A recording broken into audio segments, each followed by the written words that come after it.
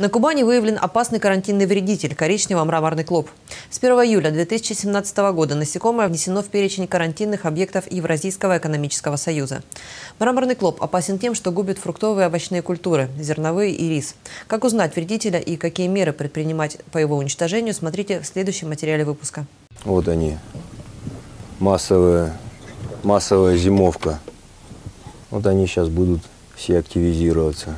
Сейчас клоп находится на зимовке. Насекомые прячутся внутри пней, стволов, хозпостройках, проникают в дома через щели под сайдинг. Необходимо на своем участке произвести тщательный осмотр всех укромных мест, провести очистку стволов деревьев от неживых слоев коры. Самый эффективный способ борьбы с клопом – собирать вручную и сжигать. Уничтожение одного клопа означает гибель последующих поколений.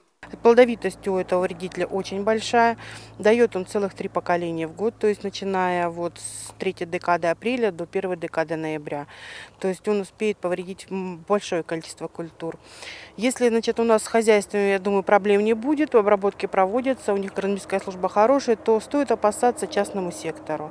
Поэтому будьте внимательны, смотрите за этого клопа, в случае необходимости обрабатывать. Когда среднесуточная температура поднимется до 15 градусов тепла, начнет начнется массовый вылет насекомого. Его атаке подвергнутся почти все растения, от плодовых, зерновых, риса до декоративных. Клопы делают проколы поверхности плодов или листьев и высасывают сок. Плод замирает в развитии, сохнет или гниет. В нашем районе уже был зафиксирован случай обнаружения мраморного клопа.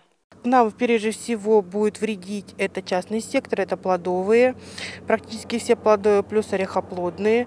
Будут также вредить овощным культурам.